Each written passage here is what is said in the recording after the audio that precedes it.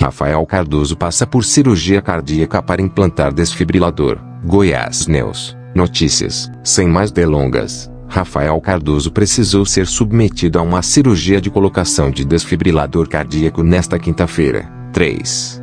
O ator, que sofre de miocardiopatia hipertrófica congênita, apresentou uma fibrose no músculo cardíaco que dava a possibilidade de morte súbita, um dos riscos da doença. A influencer Mariana Bridi, esposa de Rafael Cardoso, contou sobre a cirurgia nas redes sociais. Rafa passou por uma cirurgia para implantar um desfibrilador cardíaco. Ele tem uma miocardiopatia hipertrófica congênita, com a qual conviveu até agora sem problemas. No último mês descobriu que essa condição levou a uma fibrose no músculo cardíaco que o colocou no grupo de risco de morte súbita. É isso que o desfibrilador evita, explicou. Agradeço ao Dr. Fabrício Braga, que o diagnosticou, e ao cirurgião Dr. Eduardo Saad e equipe, que hoje implantaram o desfibrilador, e equipe do Hospital Copastar pelo cuidado e carinho. A cirurgia foi rápida. Ele está se sentindo muito bem e amanhã mesmo já voltamos para casa, disse Mariana, agradecendo a equipe médica. Rafael Cardoso também não deixou de falar do assunto nas redes sociais e tranquilizou os fãs e seguidores. Amigos, passei hoje por uma cirurgia para implantar um desfibrilador cardíaco. Tenho uma miocardiopatia hipertrófica congênita, com a qual convivi até agora sem problemas. No último mês descobri que essa condição levou a uma fibrose no músculo cardíaco que me põe no grupo de risco de morte súbita. É isso que o desfibrilador evita.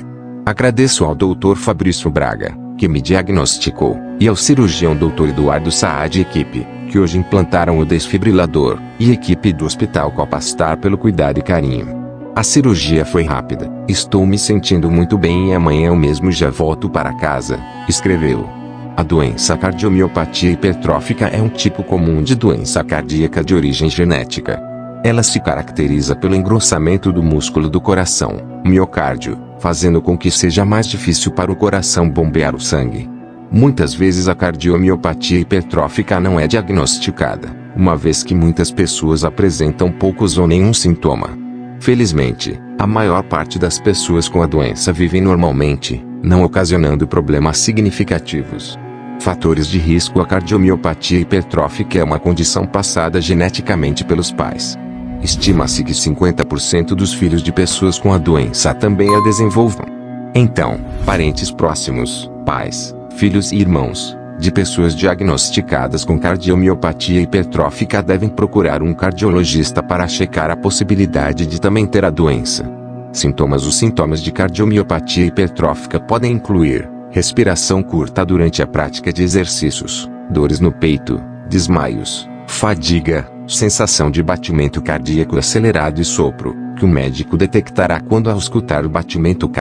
Inscreva-se no canal para receber nossos vídeos. Deixe seu like, compartilhe com amigos, ative as notificações. Até a próxima.